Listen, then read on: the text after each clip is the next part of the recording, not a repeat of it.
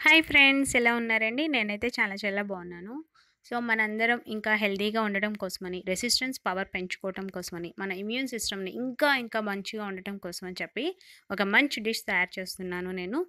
దానికోసం ఇక్కడ ఒక హాఫ్ లీటర్ పెరుగు రెడీగా పెట్టుకోండి మీరు. సో మన ఇంగ్రీడియంట్స్ అన్నీ ఇప్పుడు చూపించేస్తున్నాను. ఓకే దానికోసం ఒక అల్లం మొక్క ఇలా చెక్కు తీసుకుని రెడీగా పెట్టుకోవాలి. ఇంకా పది నుంచి పదిహేను నల్ల మిరియాలు ఒక వన్ స్పూన్ పసుపు ఇంకా గళ్ళ ఉప్పు ఒక హాఫ్ లీటరు మంచి పెరుగండి పుల్ల పెరుగు కాదు మంచి పెరుగు. మనం రోజు ఇంటేక్ తీసుకునేదే. ఇంకా ఒక కొబ్బరి చిప్పలో సగం ముక్క చిప్ప. అది ముక్కలు చేసుకుని ఇలా పెట్టుకోవాలి.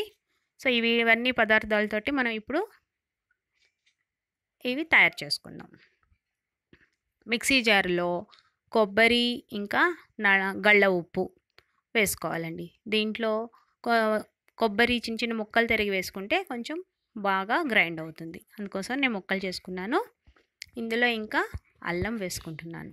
అల్లం నల్ల మిరియాలు కూడా యాడ్ చేస్తున్నాను. పది నుంచి పన్నెండు నల్ల మిరియాలు. ఇంకొంచెం కారం తింటాము అంటే ఇంకొక ఫైవ్ కూడా యాడ్ చేసుకోవచ్చండి. ఇంకా నెక్స్ట్ మనము అల్లం నల్ల మిరియాలు ఉప్పు ఇంకా కొబ్బరి కలిపినటువంటి ఈ పదార్థాలన్నీ మిక్సీ చేసేసి ఇలా పొడి పొడిగా వస్తుంది కదా దాన్ని మన హాఫ్ లీటర్ పెరుగు పక్కన పెట్టుకున్నాం కదా అందులో వేసి మంచిగా కలుపుకోవాలి. ఇంకా మన ఇమ్యూన్ సిస్టమ్ పెంచడానికి ఇంకొక మెయిన్ పదార్థం ఉందండి అదేంటంటే పసుపు. ఈ పసుపు షాప్ నుంచి కొనేసుకున్నది కాదండి చక్కగా పసుపు కొమ్మలు మరపట్టించుకుంటే మంచిగా ఉంటుంది. సో లేదు మేము అంత కష్టపడలేము అనుకుంటే ఆర్గానిక్ పసుపు అయినా వాడుకోండి. సో ఇవన్నీ ఒకసారి కలుపుకోండి. మంచిగా కలిసిన తర్వాత దీంట్లో మనము పైనుంచి తిరగమూత పెట్టుకుంటాం. ఇమ్యూన్ సిస్టమ్ రైజ్ అవటానికి ఈ పచ్చడి చాలా చాలా చాలా యూజ్ అవుతుంది. సో మనం తిరగమూతకి స్టవ్ మీద బండి పెట్టుకుని నూనె వేడెక్కిన తర్వాత వన్ స్పూన్ శనగపప్పు వన్ స్పూన్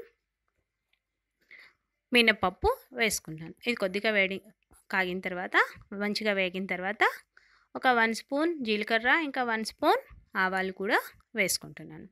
తిరగమూత మంచిగా ఫ్రై చేసుకుందాం ఇప్పుడు. ఒకసారి మాడిపోకుండా తిప్పుకుంటూ ఉంటే బాగుంటుంది. ఇమ్యూన్ సిస్టమ్ రైజ్ అవ్వటానికి హెల్తీగా ఉండటం కోసం అని చెప్పి ఈ పచ్చడి మనం వారానికి ఒకసారి అయినా తీసుకుంటే చాలా చాలా మంచిది.